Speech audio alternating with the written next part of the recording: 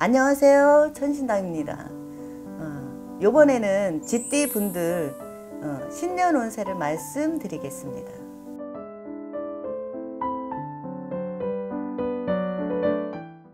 어, 쥐띠 분들은 재주를 발휘하며 좋은 결과 보이는 해입니다.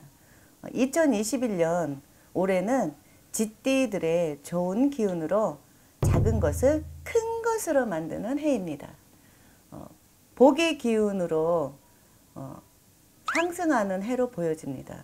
매듭이 풀리는 어, 좋은 해가 될 것입니다. 26세 병자생 어, 이분들은 위기를 기회로 맞이하는 좋은 운의 해입니다. 의지와 노력으로 하는 만큼 성취와 기쁨을 누릴 수 있어요.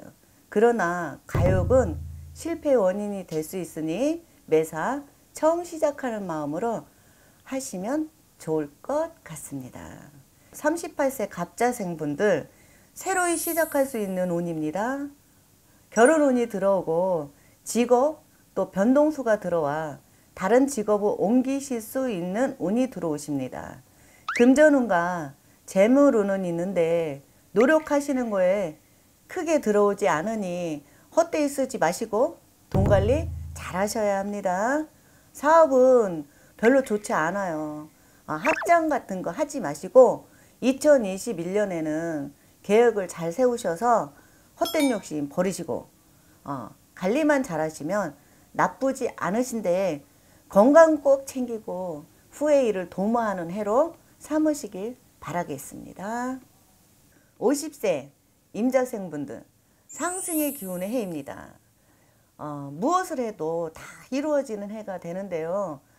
파는 매매운 좋지 않아요. 금전은 재물운으로 인해서 시비 구설 수 있어요. 그러니 조심하시고 넘어가시면 괜찮고요. 건강이 안 좋을 수 있으니 매사 체크 잘 하시고 어, 가시면 올해 한 해 별 문제 없이 번창하실 겁니다. 아, 62년 경자생분들 아 이분들은 인덕이 너무 없으셨던 분들인데 돈복도 별로 많지 않아요. 아, 올해 21년 신축년에 어, 문서운이 들어오시고요. 사고 팔고 하시는 운도 들어오십니다. 아, 그로 인해서 문제가 조금 음, 해결되십니다. 안 팔렸던 거나 안 팔렸던 집, 상가 어, 그런 것도 팔릴 수 있으시고요.